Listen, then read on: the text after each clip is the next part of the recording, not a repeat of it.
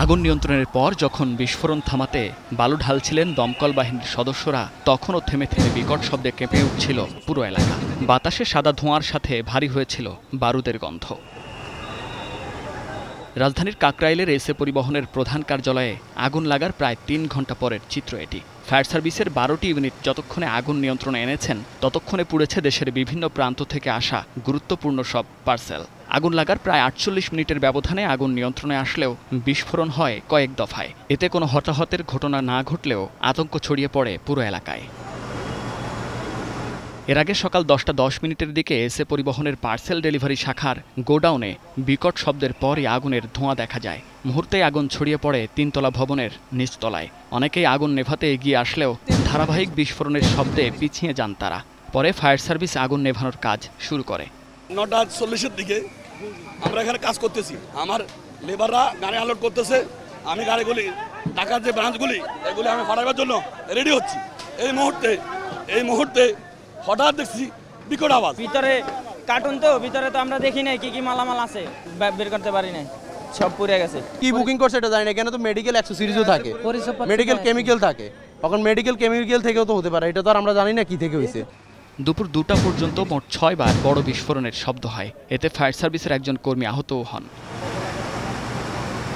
গোডাউনে দাহ্য পদার্থ ও বিস্ফোরক জাতীয় দ্রব্য থাকার বিষয়টি নিশ্চিত করে ফায়ার সার্ভিস। সাধারণ মালামালের সঙ্গে আতশবাজি ও পটকার বস্তা রেখে এসে পরিবহন বেআইনি কাজ করেছে বলেও জানানো হয় ফায়ার সার্ভিসের পক্ষ থেকে।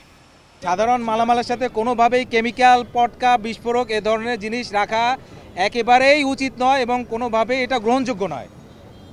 কেমিক্যাল বা পটকা বিস্ফোরক, এগুলা সম্পূর্ণ আলাদাভাবে স্পেশাল কেয়ারের মাধ্যমে সংরক্ষণ এবং পরিবহন করা নিয়ম। যদি তারা একসাথে রেখে থাকে সাধারণ মালামালের সাথে, তাহলে তারা কাজটি ঠিক করেনি। এটি তদন্ত সাপেক্ষে আমরা বের করে পরবর্তীতে আইনানুগ ব্যবস্থা নিতে পারব। তবে ফায়ার সার্ভিসের বক্তব্য প্রত্যাখ্যান করেন এসে পরিবহনের ব্যবস্থাপনা পরিচালক। তার দাবি, পটকা বা পার্সেল মজুদ থাকলেও দাহ্য পদার্থ ছিল না এখানে। মধুর কৌটা থেকে আগুনের সূত্রপাত বলে জানান তিনি। আতশবাজি, আগরবাতি, এগুলি কিন্তু বিস্ফোরকের আওতায় পড়ে না। আরে ফায়ার সার্ভিস বলছে, আমি তো বলছি, প্রতিষ্ঠানটা আমার। কোথেকে কি হয়েছে আমি জানি তো। আমি দেখছি তো, বিস্ফোরক আসে নাই। মধুর থেকে সূত্রপাত হয়েছে। এখানে এখনও মধু, এই যে এখনও মধু যে বোতল, এই মধুর বোতল বাস্ট হয়েছে। আরও অনেক কিছু থাকতে পারে, এই তো আমাদের মানুষের আমানত। তো মানুষের আমানত রক্ষা করার দায়িত্ব আমাদের। এক ঘণ্টার আগুনে এসে পরিবহনের গোডাউনে মালামালের কী পরিমাণ ক্ষয়ক্ষতি হয়েছে এবং আর্থিক ক্ষতির পরিমাণও এখনও চিহ্নিত করা যায়নি। তবে ক্ষতিগ্রস্ত পার্সেল মালিকদের ক্ষতিপূরণ দেয়া হবে বলে জানিয়েছে এসে পরিবহন কর্তৃপক্ষ। এরপর বিকেলে সেখানে আসেন কয়েকজন গ্রাহক। দামি সব পার্সেল নষ্ট হওয়ার খবরে ভেঙে পড়েন তারা। ছয় সাতটা কার্টুন টোটালি ভিজা অবস্থায় সেটা পড়েনি, বাট আমার এগারো থেকে বারো, চোদ্দোটা কার্টুন অলরেডি ড্যামেজ হয়ে গেছে পুড়ে গেছে ওনাদের ভাষ্য মতে যেটা আমাদের এই প্রথম গোডাউনে ছিল ওনাদের। এক কার্টুন পেয়েছি আর আর এক কার্টুন খুঁজতেছে এক কার্টুন আমার পুরা মানে ভালোভাবে পাইনি এগুলো নষ্ট হয়ে গেছে এই আর কি আমার প্রায় চার থেকে পাঁচ লাখ টাকার মাল ছিল। এ ধরনের ঘটনার তদন্ত প্রতিবেদনের পর বিস্ফোরক আইনে আইনি ব্যবস্থা নেয়ার সুযোগ আছে বলে জানিয়েছে ফায়ার সার্ভিস। এদিকে বিকেলে ঘটনাস্থল পরিদর্শন করে ডিএমপির bomb disposal unit.